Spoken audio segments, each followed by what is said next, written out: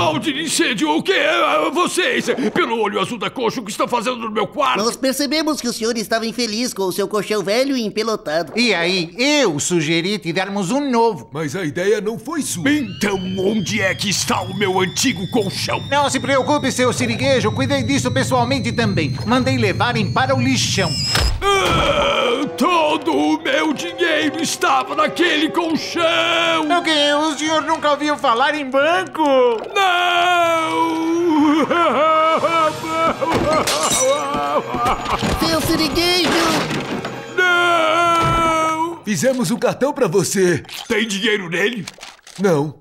Ah, Não, é o colchão do seu siriguejo com certeza. Vamos lá pegar. Tudo bem, eis o plano. Vocês dois vão em silêncio lá, tiram o colchão debaixo da minhoca sentinela sem acordar a minhoca. Por que não? Porque seria falta de educação, Patrick. Não tem nada pior que uma minhoca de lixão. Come vocês vivos. Ei, um minuto aí. O que é que você vai fazer? Ah, eu vou ficar com a parte mais importante. Eu vou ficar de olho para garantir a segurança de vocês. Valeu, amigão. É um prazer. Agora vão andando.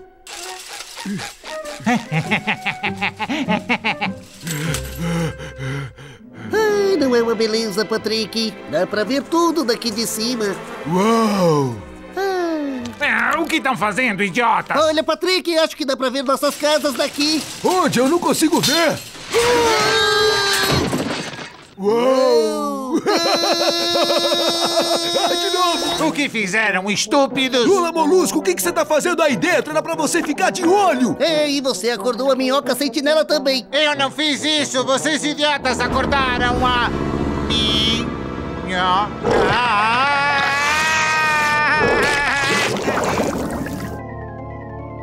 Doutor? Sim, doutor. A respeito do seu paciente, doutor, cheguei a uma conclusão. Prossiga. Temos que removê-lo cirurgicamente da frente da máquina de petiscos para eu poder pegar um salgadinho. É claro. Enfermeira. Já comigo.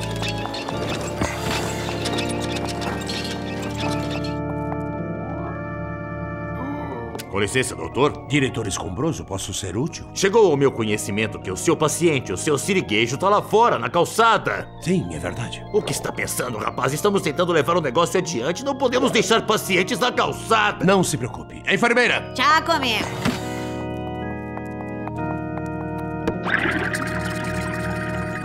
E aí, vocês dois, qual é o problema? Estamos com vergonha. Qual é? Façam isso pelo seu siriguejo. Tá bom. Você pode explicar o plano de novo? Claro, mas primeiro ponham o perfume. Molho pra bife? Muito bem, os dois estão disfarçados de picanha. Vocês vão lá e gritam doçura ou travessura. A minhoca vai perceber que esqueceu de se abastecer de doce para o Halloween. Sai para comprar e aí nós pegamos o colchão. Me dá o perfume! Agora, entrem lá. Feliz Halloween, Lula Molusco! Desta vez eu não vou me machucar. Mas parece ser o seu siriguejo. Ah!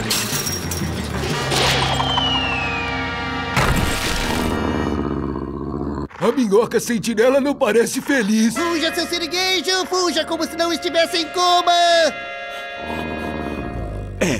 o meu dinheiro! Ah!